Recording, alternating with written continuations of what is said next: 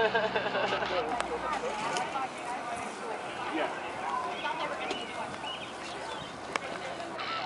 Yeah, registration at one. I'll just head over there after. I'll drop you guys off and head over. Right down the hall, darling. Is there another two? Anyone else in a group of two? Really? Sit down, sir. Good.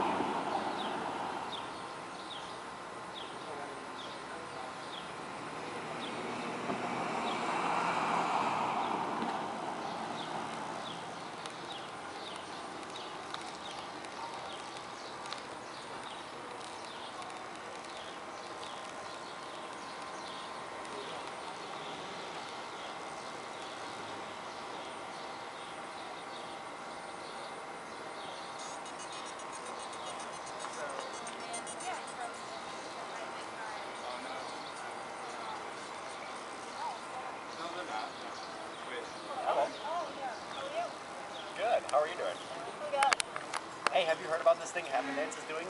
It's called Community Dance Project. Yeah, totally. It's all these different people. Hey Amanda, what's They're going to be amateur, professional choreographers. They're going to be getting together and doing all these cool dances. They're, they're going to be performing from July 30th say? Community Dance through August 3rd. They're going to be performing at Dart Auditorium, Scene Metro Space, and the Jazz Fest. I'm totally in it. You should come see it. Wait, what days are the shows? It's totally free and open to the public. Wow. So, we should go see it. Okay, sounds good. That sounds like the greatest summer thing to go to. Bye. Awesome.